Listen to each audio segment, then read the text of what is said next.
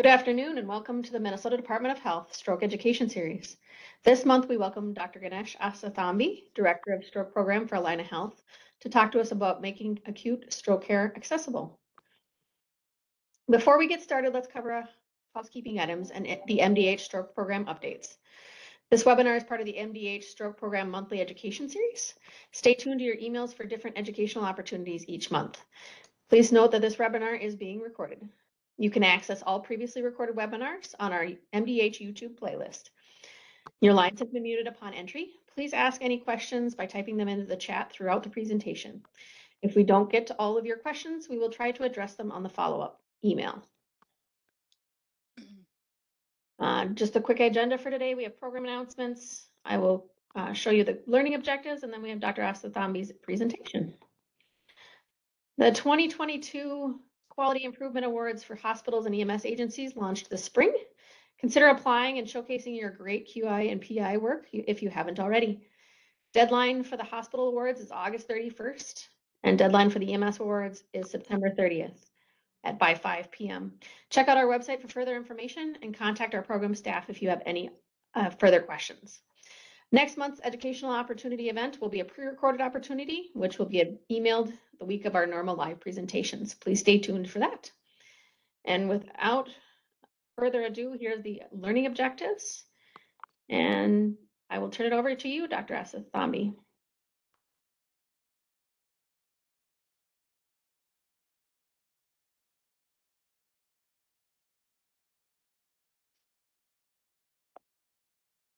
Sorry, hold on one second. I'm having technical issues.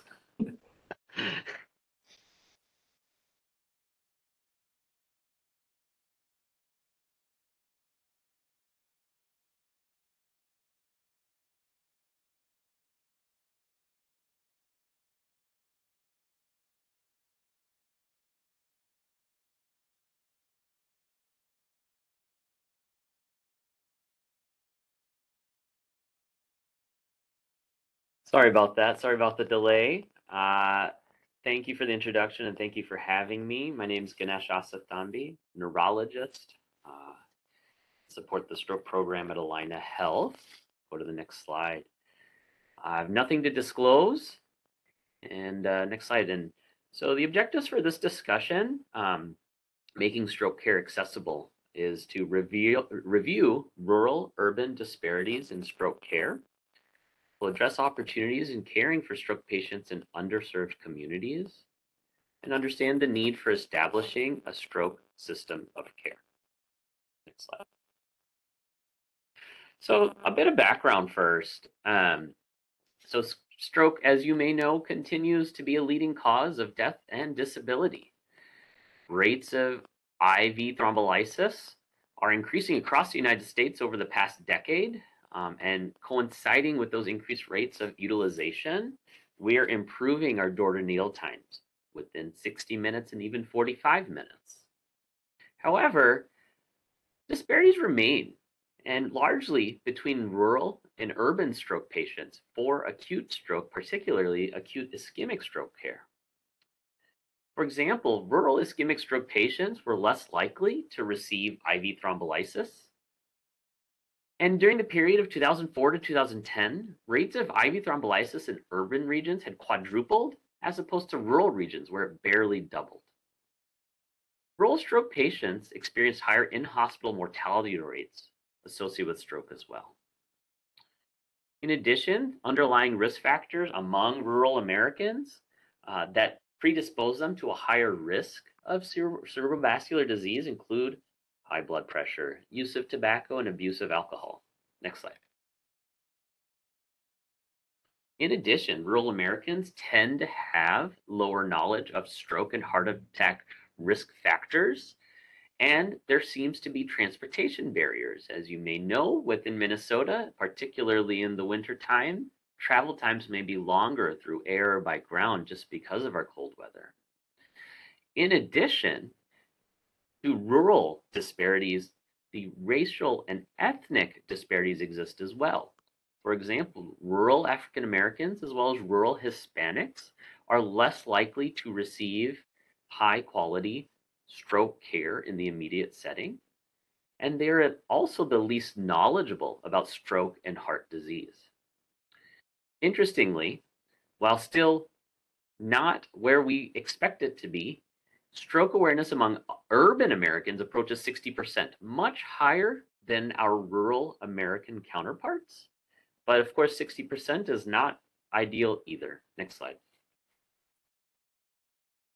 So rural hospitals in the United States tend to be much smaller. Nearly half of all rural hospitals have fewer than 25 beds.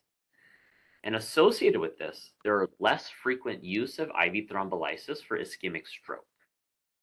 There's twice the odds of IV thrombolysis utilization in urban settings. And surprisingly, about 65% of small hospitals reported no use of IV thrombolysis. And small hospitals were defined as an average of 95 beds. So not the less than 25 beds, but actually near 100. And among these hospitals that reported no use of IV thrombolysis, about 15% of uh, stroke patients hospitalized in the United States were admitted to these hospitals. Next slide. So looking more closely or in depth, and this is in 2010, the proportion of the United States population. Back in 2010, we had the establishment of primary stroke center certification that started in about 2003, 2004. And by that time, there was no uh, promotion of an acute stroke ready hospitals designation. So when we looked at primary stroke center, uh, uh, center accessibility, we noticed that on the far right of the screen, you'll, you'll see that patients within suburban areas as well as rural areas that a very high proportion, 91% of suburban residents and 99% of rural residents were over an hour away from a primary stroke center. Very alarming. And hopefully over the the, the, the past decade or since 2010, we've made great progress, but yet there continues to be efforts that we need to collectively do. Next slide, please. What you'll see here is a comparison of the disparity between rural hospitals and urban hospitals in the utilization of IV thrombolysis. At the top, what you'll see, the top map of the United States in 2004, you'll know you'll notice in particular Minnesota, there's a there's a the number 100 on it.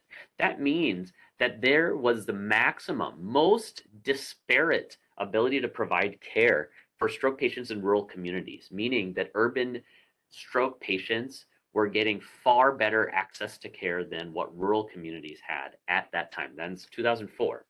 The bottom map is in 2010, while there was still improvement, there was still quite a high disparity in the ability for Minnesotans to receive care in rural areas. Next slide. So what is associated with the lower accessibility among non-urbanites? So these patients tend to have lower income, a lower education level, more frequently are uninsured, oftentimes have Medicare or Medicaid eligibility, tend to use healthcare less frequently, and ultimately have fewer healthcare resources. So the question comes up, is the rural stroke patient, do they belong to a unique underserved minority group that we don't typically associate with like race or ethnicity or age or sex, is the rural stroke patient a, minority group of, of its own? Next slide, please. So in 2013, the Brain Attack Coalition had proposed a nomenclature and designation for establishing acute stroke ready hospitals. This could inevitably lead to the formation of as the base of any stroke system of care and was uh, does it was proposed for hospitals that tended to have fewer than 100 beds. So ultimately, what are some of the types of care elements that acute stroke ready hospitals could help perform? Well, it could identify what type of clinical situation the patient is coming in with to help stabilize vital signs, try to diagnose a stroke type, whether it tends to be ischemic or by radiographic interpretation, hemorrhagic, assess whether they could be eligible for IV thrombolysis if there are bleeding hemorrhagic complications, ad- addressing any potential coagulopathies, like if the patient has uh, warfarin or other systemic anticoagulation or low platelet count, things like that, and to help with non-interventional means to help address elevated intracranial pressures or even treat seizures. Next slide. So in 2011, right before the uh, proposal of acute stroke ready designation, 20% of Americans lacked timely access to IV thrombolytic capable hospitals. And since then, with educational efforts, professional organizations, more collective uh, uh, efforts uh, across communities, about 96% of Americans were uh, within an hour of IV thrombolytic capable hospitals, and almost all Americans were within two hours of IV thrombolytic capable hospitals. And this access is related to any stroke center or center with telestroke capability. Next slide. So, is Minnesota winning? I chuckle at using that uh, that or asking that question, but I do truly think that Minnesota is winning in our ability to provide great stroke care. As of February of 2021, 89% of Minnesotans are within 30 minutes of a designated hospital that is able to uh, provide IV thrombolysis or um, uh, some sort of acute stroke care. So overall, that's 116 116 hospitals designated as a primary stroke center, comprehensive stroke center, uh, thrombectomy capable stroke center, or an acute stroke ready hospital. And of those 116, 93, 93 are acute stroke ready hospital designated. Next slide. So if we compare what Minnesota is able to offer to neighboring states, you'll notice that, well, there aren't as many dots in North Dakota. Next slide. Iowa. Next slide. Wisconsin. Next slide. Arkansas, and I only used Arkansas as a as an example of some uh, a state where uh, where stroke tends to be much more prevalent in the South. Um, but they uh, and, and next slide and Michigan. So many states in the upper Midwest um, have nothing to compete with us as a state. We are doing a phenomenal job in providing access to Minnesotans. Next slide. So with the early adoption of acute stroke ready hospital in Minnesota, this is actually something that our own Al Sai, when he was with us, was able to present at the International Stroke Conference a few years ago. So when the Brain Attack Coalition had proposed the designation of acute stroke ready, the Minnesota Stroke System was then launched in 2013 in order to organize and recognize hospitals that are able to deliver acute stroke treatment. So again, 93 hospitals currently are designated as that acute stroke ready. So the goal of the system was to increase access to acute stroke treatment um, and improve outcomes for stroke patients. So the MDH designated acute stroke ready hospitals according to several criteria that the Brain Attack Coalition had proposed. Um, and what what uh, Al had been able to lead in, in the study was to determine between the establishment of acute stroke ready and 2017 how frequently we were able to treat patients with IV thrombolysis. So you'll see kind of on the x-axis early adopters, which were hospitals that de were designated acute stroke ready as early as 2014, late adopters who were designated in 2016 and then never designated, so never sought acute stroke ready designation. You'll see in the bar graphs that the early adopters had a significant increase in the utilization of IV thrombolysis for ischemic stroke. So that was statistically significant from about 14% to about 21%. But then late adopters, while there was an increase numerically, did not have the statistically significant uh, change in time uh, because of their late adoption. And while visually, um, never designated hospitals had what looks like an increase in IV thrombolysis utilization, there's no statistically significant improvement in its use. The trends in treatment were ultimately the most noticeable among the early adopting acute stroke ready hospitalizations. And interestingly, through this analysis, what we learned was that the, the hospitals that were never designated actually never used IV thrombolysis within the three to four and a half hour window, which is typically in community standard what we typically uh, uh, use as the upper limit, four and a half hours as the uh, time to treat with IV thrombolysis. So what was concluded from this study was that trends, again, were treat in treatment for IV thrombolysis was highest among the early adopting uh, acute stroke ready hospitals. And um, these sustained increases suggest that similar increases will be seen probably by now among those later adopting hospitals. And that implementation of a statewide system of care um, namely the adoption of standards and hospitals designation, is a driver for sustained increases in treatment rates. So a, a, a nice thing to advertise for uh, not only MDH, but also for Minnesota and our ability to provide acute stroke care to our uh, Minnesotans. Next slide. So if we're able to compare what an acute stroke ready hospital can do uh, to a primary stroke center, ultimately we want to be able to have quick response times, be able to revise protocols on an annual basis, be able to provide education to our EMS services, have written protocols for emergency departments, have accessible brain imaging um, during all hours of the day.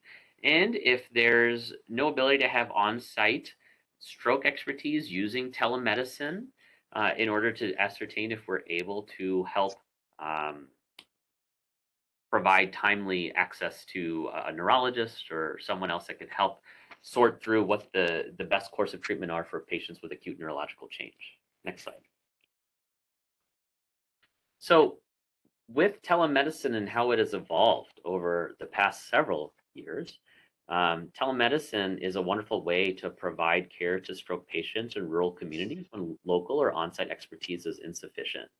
It is actually a cost-effective way when compared to usual care, which is lack of subspecialty expertise.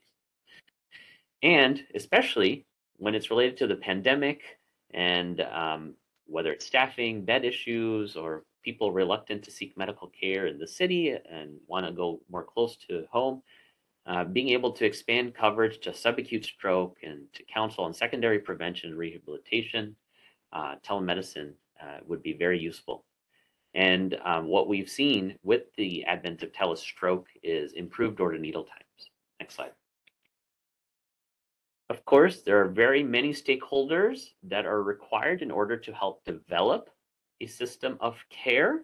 And you'll see that on the list, this is not completely exclusive. There are many others that are required to help formalize uh, a successful system of care when it comes for from non-designated acute stroke ready hospitals to acute stroke ready hospitals to primary stroke and comprehensive and thrombectomy capable stroke centers. So next slide.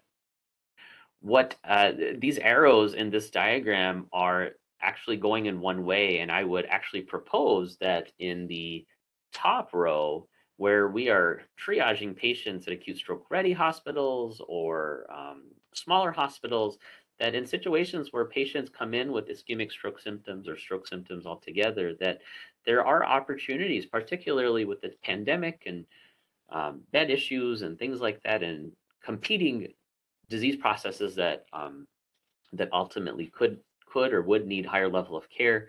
That patients with the advent of telestroke can be taken care of more locally if they don't receive thrombolysis or require more high level interventions. So um, for patients that receive IV thrombolysis or have a large vessel occlusion, transferring them to higher level uh, care to stroke centers, of course, makes sense where we're able to provide that level of care that some or many hospitals are not able to do. And then, of course, with intracerebral hemorrhage or subarachnoid hemorrhage, doing the same thing. But with the ability of telemedicine, we're able to, in theory, successfully provide acute stroke care for patients that don't receive acute reperfusion therapies. Next slide, please. So to conclude, rural, rural urban inequities still exist in stroke care. I do think that Minnesota is ahead of the game and should serve as an example for the entire country. The goal is to minimize this disparity, right? And um, ultimately having opportunities to establish and increase the number of acute stroke ready hospitals Uh, and if you if if one is an acute stroke ready hospital, to continue to work on the quality efforts uh, to make sure that we're we're all committed to stroke care for all of our uh, all of our patients. And to be a part of a system of stroke care allows for an easy continuum of care. And so, what that meaning uh, means is uh, uh, aggressive partnerships with professional and community professional and community education to help increase the potential rate of acute ischemic stroke therapies and other stroke interventions, and then also being able to increase public awareness of the importance of time in seeking medical attention. That's all I have. And so next slide, it's just my contact information. Thank you again for having me uh, join you in this session three years in a row. I must be doing hopefully something right. Um, otherwise, I am open to some questions if there are any. Thank you again, Dr. Asathambi. Uh, anybody have any questions, please place them in the chat and we will get them very quickly here to, to Dr. Asathambi and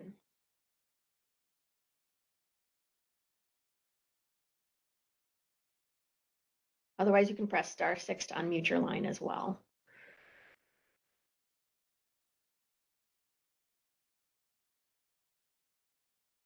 And give a pe- people a chance to type. Not that fast of a typer for.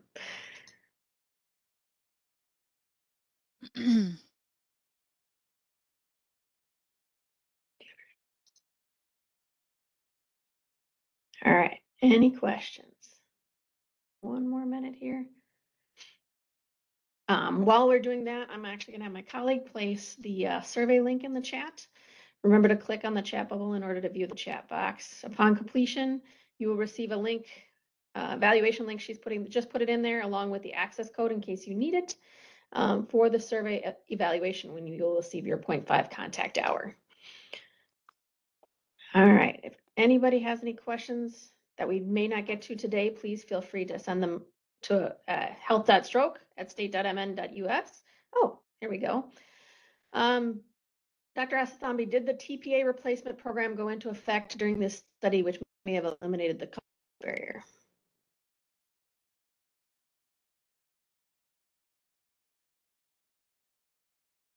It's a good question for which an answer I don't have. That's okay.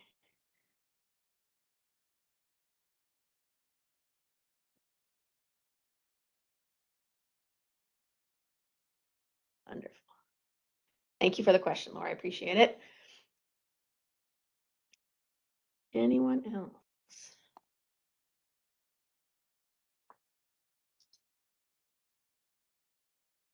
All right. Well, Dr. Asathambi, I can't thank you enough again for the great presentation, especially on um, on our rural inequities and, and something we work hard to, to help solve in the state. And like you said, hopefully it seems like we seem to be doing a good job. So, and that's um, all we seem to have for today. Please stay tuned to your email for month- monthly educational opportunities. Stay well and take care. Thanks, everyone. Take care.